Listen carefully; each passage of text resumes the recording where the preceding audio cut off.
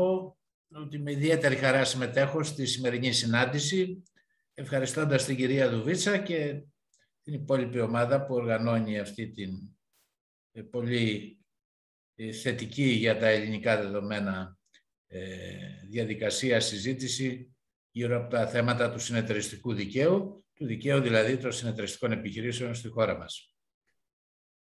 Έχω την γνώμη ότι πρέπει να είναι σαφές σε όλους ότι όλα τα νομοθετήματα, συνολικά το δίκαιο δηλαδή, συνδέεται με την οικονομία, με την πολιτική και με την ιδεολογία. Αυτό πρέπει να είναι ξεκάθαρο. Είναι, αποτελεί κοινό τόπο για την νομική επιστήμη. Είναι ο λεγόμενος κοινωνικός προσδιορισμός του δικαίου, συνεπώς και του συνεταιριστικού δικαίου. Άρα, τα αρνητικά φαινόμενα που παρατηρούνται κατά τη διαδικασία της νομοθέτησης στη χώρα μας τις τελευταίες δεκαετίες που έθιξε και η κυρία Μητροπούλου προηγουμένως, είναι αποτέλεσμα του συσχετισμού των δυνάμεων και ο συσχετισμός βέβαια έχει σχέση και με το τι κουβαλάνε οι εκάστοτε κρατούντες μέσα στο μυαλό τους σχετικά με το τι είναι συνεταιρισμός. Πολλοί δεν το γνωρίζουν. Έχουμε, έχουμε τραυματικές εμπειρίες. Δηλαδή κάποιος υπουργός μου είχε πει το 2011 ε, ας τον ψηφίσουμε τώρα τον νόμο όπως είναι και τον αλλάζουμε, μετά τον προσαρμόζουμε. Ας, ας το κάνουμε τώρα. Ένας άλλος λέει, ψηφίσω, μου λέει για ψηφίσω νόμο γιατί δεν έχει γενικό λογιστήριο, δεν έχει δαπάνη δηλαδή. Άρα να πούμε στους αγρότες, σας σώσαμε. Και έτσι έχουμε ένα σωρό νόμους, όπως το είπε και η Άννα, περί τους αγροτικούς συνεταιρισμού. Είναι όμως θέματα συσχετισμού δυνάμεων.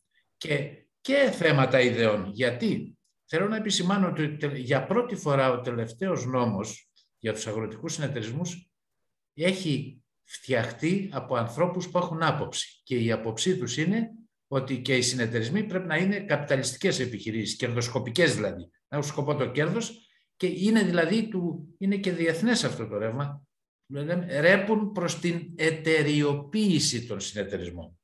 Αυτοί που κατασκευάσαν αυτό το νόμο έχουν τέτοια άποψη.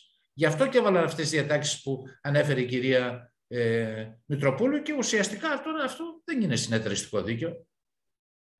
Ο τελευταίος νόμος περί, περί αγροτικών συνεταιρισμών, πέραν του ότι μπορεί να υποπτεύεται κανείς αν ξέρει καλά τον αγροτικό συνεταιριστικό χώρο, ότι μπορεί να έχουν στο μάτι ορισμένοι και τις, τη μεγάλη ακίνητη περιουσία των ελληνικών αγροτικών συνεταιρισμών. Δηλαδή πλάτσικο. Μπορεί να κρύβεται και κάποια τέτοια πρόθεση.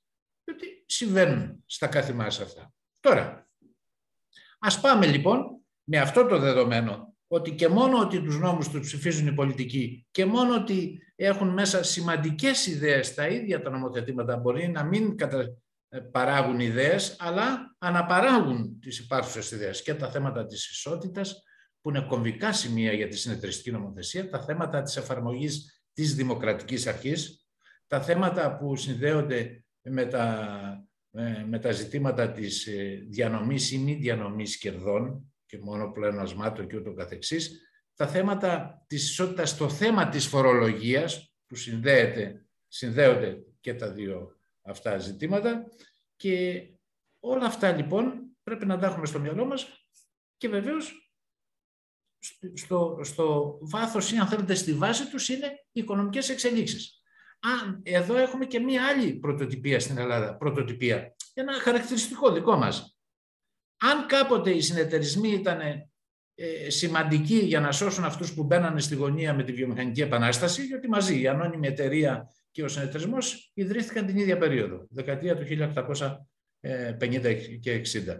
Ε, σήμερα με την παγκοσμιοποίηση που ο ανταγωνισμός είναι αδυσόπιτος και τα αδύναμα κοινωνικά στρώματα και η φτώχεια και οι αποκλεισμοί φουντώνουν, αυτό είναι μία από τις συνέπειες της παγκοσμιοποίησης. Σήμερα πρέπει με ιδιαίτερο ζήλο κάθε ε, εξουσία να ασχολείται με τις συνεταιριστικές επιχειρήσεις, οι οποίες είναι ένα αποκούμπι, να το πούμε εντελώς απλοϊκά. Και η εμπειρία αυτά τα αποδεικνύει. Δεν είναι ότι κάποιοι παλαβείς συνεταιριστικολόγοι τα λένε. Η εμπειρία, οι στατιστικές, αν πάρουμε και μόνο τις στατιστικές ε, διεθνώς, ε, δείχνουν ότι σε περίοδους κρίσης οι μόνες ανθεκτικές επιχειρήσεις, οι μόνοι ανθεκτικοί οργανισμοί είναι συνεταιρισμοί. Σε εμάς λοιπόν παρότι όλα αυτά τρόπον την είναι δεδομένα και γνωστά, συμβαίνει το αντίθετο. Ακούσατε την κυρία Τζίβα στι εταιριστικέ τράπεζες, τις άφησαν έξω από την ανακεφαλοποίηση. Δεν ενδιαφέρονται. Δεύτερον, την κυρία Μητροπούλου για, τον για την αγροτική οικονομία και συνολικά οι αστικοί συνεταιρισμοί έχουμε 6-7 νόμους μόνο για τους αστικούς συνεταιρισμούς. Δεν υπάρχει άποψη δηλαδή ή να το πω ανάποδα, η άποψη είναι διαλύστε τους, αφήστε τους έτσι. Δεν μας ενδιαφέρει ο τομέας αυτός της κοινωνικής οικονομίας ή συνεταιριστικής οικονομίας. Κατά κύριο λόγο, οι συνεταιρισμοί είναι το κομμάτι της κοινωνικής οικονομίας στον Ελλάδα. Παρ' όλα αυτά, εμείς έχουμε υποχρέωση και να συζητάμε και να παλεύουμε και να θέτουμε στη δημοσιότητα τις απόψεις μας, διότι πράγματι είναι έτοιμα επίγον ο ενιαίος νόμος στον τομέα της συνεταιριστικής ή κοινωνικής οικονομίας. Χρειάζεται μία θέσμηση συγκεκριμένη με ένα νόμο πλαίσιο που μπορεί σε δύο-τρία άρθρα να έχει τα ιδιαίτερα χαρακτηριστικά κάποιων επιμέρους τομέων της κοινωνικής και οικονομικής ζωής. Απλά πράγματα. Αυτό επιβάλλεται και λόγω της κοινής ιδεολογίας ε, όλων των κατηγοριών των συνεταιρισμών βασίζονται πάνω στις διεθνείς συνεταιριστικές αρχές. Αυτό Επίσης, ο κοινός σκοπός εξυπηρέτηση των μελών. Τρίτον, το κοινό σύστημα των κοινωνικών σχέσεων, δηλαδή του τρόπου που οργανώνεται ο συνεταιρισμός για να πετύχει το σκοπό του, δηλαδή να εξυπηρετήσει τις ανάγκες των μελών του. Ε, και πέμπτον, η συγκέντρωση των δυνάμεων. Η συγκέντρωση των δυνάμεων και η ενιαία παρουσίαση των δυνάμεων σε όλες τις δομές τις κρατικές, τις κοινωνικές, στην ημεδαπή και στην αλλοδαπή, για να το πω έτσι, και διεθνώς δηλαδή. Ο νόμος για αυτούς τους λόγους είναι απαραίτητος. Ο ένας νόμος. Όταν πάμε σε πολλούς, είναι για να εξαφανίσουμε αυτό το, το οικονομικό σύστημα. Το τρίτο τομέα της οικονομίας, δηλαδή, που είναι ο τομέας της κοινωνικής οικονομίας της συνεταιριστικής. Συνεπώς, το συνεταιριστικό δίκαιο στην Ελλάδα, ενώ μπόρεσε και προχώρησε μέσα από πολύ σκληρές συνθήκες με τον 602 του 2015, με πολέμους, με εμφυλίους πολέμους, με κατοχή κτλ. Αντί αυτό το νόμο να τον προσαρμόσουμε όταν βγήκαμε στο ξέφωτο της μεταπολίτευσης, αρχίσαμε και φτιάχναμε, παίζαμε, φτιάχναμε, παίζαμε εντός εισαγωγικών, οι, οι εκάστοτε κρατούντες δηλαδή. Φτιάχνανε νόμους για κάθε τομέα, επιμέρους τομέα. Άρα, ορθά ασχολούμαστε, πρέπει να θέσουμε τα ζητήματα, διότι μόνο έτσι μπορούμε να ελπίζουμε ε, ότι μπορεί να υπάρξει σιγά σιγά μία διαδικασία ανάτασης στον τομέα αυτό της οικονομίας, στον τρίτο τομέα ε, και στις επιχειρήσεις του, τις συνεταιριστικές επιχειρήσεις, επιχειρήσεις κοινωνικής οικονομίας. Δηλαδή τα θέματα των σχέσεων με το κράτος, τα θέματα όπου είναι η φορολογία, είναι διάφορα ζητήματα, εργασιακές ε, σχέσεις, αμοιβή της εργασίας. Ε, ε, επίσης, οι σχέσεις με τις ιδιωτικές κερδοσκοπικές επιχειρήσεις και εταιρείες. Η διασυνεταιριστική συνεργασία ή σχέσεις με την Ευρωπαϊκή Ένωση, τα επιμέρους ταμεία, οι εντάξεις, τα έργα, οι δράσεις, οι διάφορες. Τα θέματα τα ιδεολογικά που αφορούν στην εκπαίδευση, στην δεν γίνεται ε, σύστημα οικονομικό χωρίς εκπαίδευση, χωρίς κατάρτιση, χωρίς έρευνα και στο τέλος τέλος την ανάπτυξη και του ίδιου του συνεταιριστικού δικαίου και συνολικά της συνεταιριστικής πολιτικής. Συνεπώς, ε, έχουμε ανάγκη ενός ενιαίου νόμου για να ξεκινήσουμε μία διαδικασία επανασυγκρότησης του συνεταιριστικού συστήματος του ελληνικού, το οποίο ε, πρέπει να ομολογήσουμε ε, διέρχεται μία βαθύτατη κρίση ε, και άγνωστο είναι πότε θα μπορέσει να την ξεπεράσει. Ότι μία από τις σοβαρές προϋποθέσεις γι' αυτό αποτελεί η ενιαία συνεταιριστική νομοθεσία, αυτό είναι βέβαιο.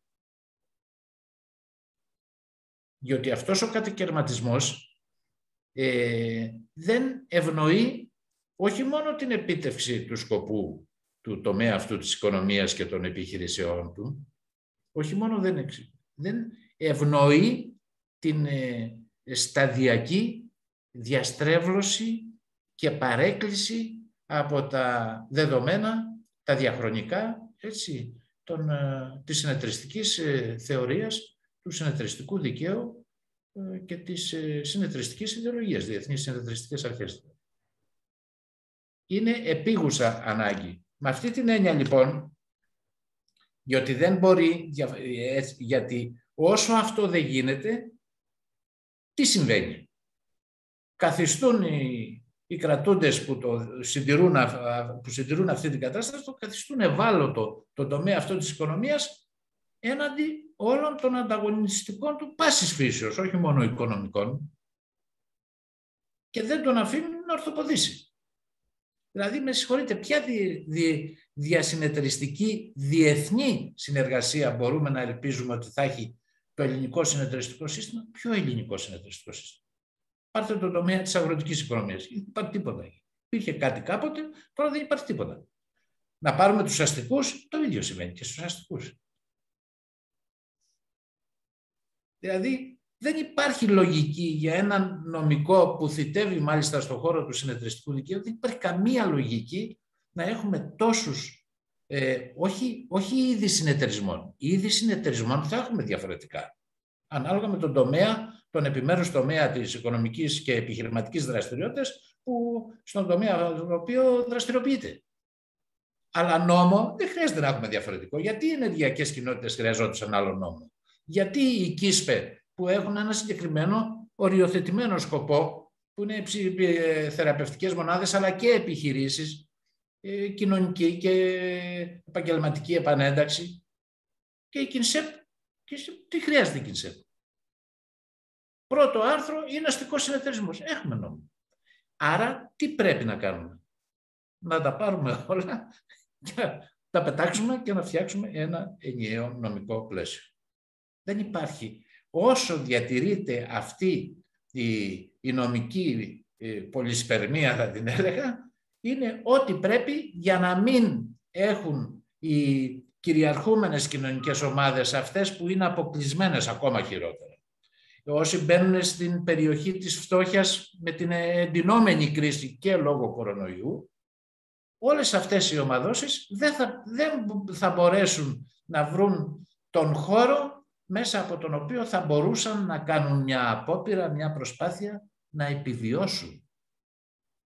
Μεγάλα τμήματα του πληθυσμού πλέον και αυτή είναι η σημαντική ανάγκη την οποία μπορεί να εξυπηρετήσει ο ενιαίος νόμος.